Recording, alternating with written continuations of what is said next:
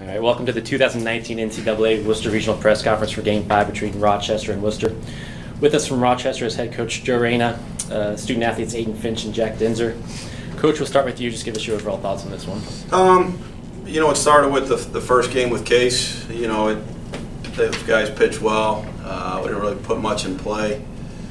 And then, you know, in the second game, um, you know, Jack was, you know, pitching well. We get a couple ground balls. Plays should have been made on, but unfortunately they weren't. And you, know, you give a good team like Wooster extra outs in an inning. It's, it's, it could be, it could make for a long day, which it did. So. How tough is it to play, you know, back-to-back games like that? Uh, we do it throughout the year, so it's not. I mean, it's not anything that we haven't done before. The 80 degrees was a little different. We're normally used to 40, 45, but um, but no, it's. I mean, we do it every year, anyways. So. Uh, Aiden and Jack, I had the same question for you, just to you know, uh, talk about your four years at Rochester and what it meant to you. um, meant meant the world.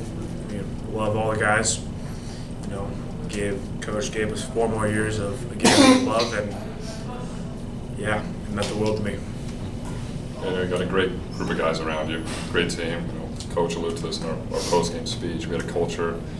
You know, our freshman year that wasn't ideal. We came in and, and we changed that. We have a, a, great group of guys that, you know, I'd go so far as to call my family.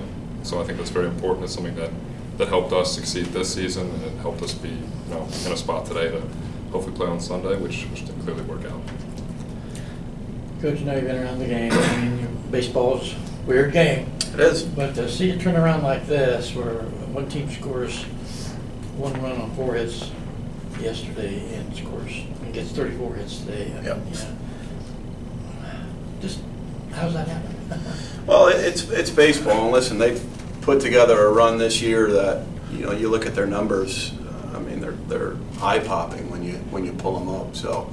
Um, I think it goes to John Turk and, and what he did and how well he pitched yesterday. You know, they, they, you know, Wooster put it on Otterbein this morning, um, you know, and, and they put it on us, you know, today. So um, they're, they're, they're a very good club, uh, but you just can't give them extra outs, and we, we clearly did that at the beginning of the game.